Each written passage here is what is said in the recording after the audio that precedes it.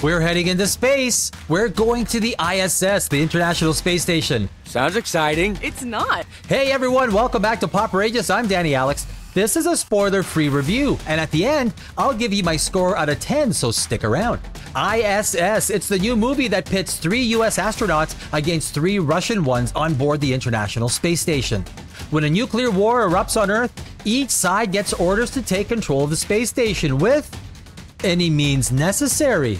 Now, that would suggest murder if it's so required, and launches us into a how would I describe it? A uh, underwhelming hour of missed opportunities and unexplored human drama. The ISS is a relatively easy movie to analyze. A nuclear war breaks out, and the two respective teams each receive messages to take control of the space station at any cost. Oh, you know it, Gollum.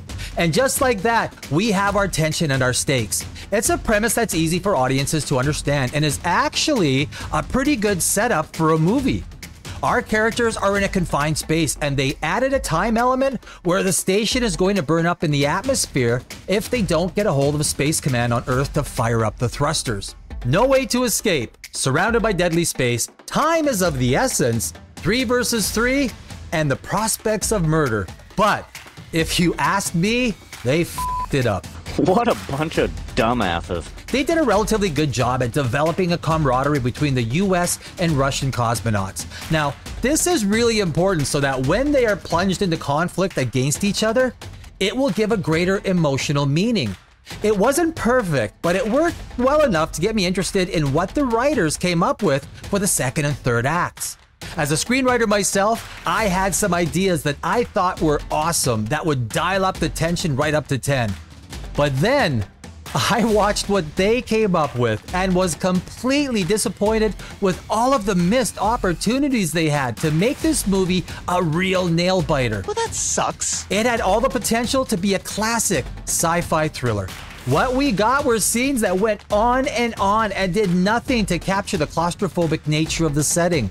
There was a spacewalk scene that was tedious and unreasonably long, as was all of the scenes that led up to the climax in the movie, which landed pretty flat. I would have had one of the Russians be a covert KGB astronaut, a spy assassin kind of guy, similar to what the Soviets did when they placed a Politburo spy on ships and submarines. Make him a ruthless killer who is going to show no mercy in taking over the station, literally using any means.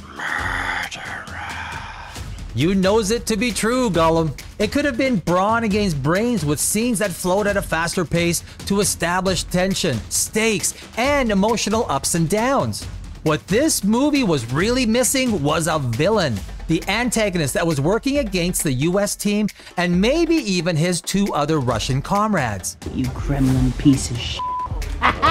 But what we actually got was seven or eight long, drawn out scenes that underwhelmed and underdelivered on the absolutely unique setting and plot potential this movie had. ISS is most easily described as a huge missed opportunity to deliver audiences an amazing thrill ride in space.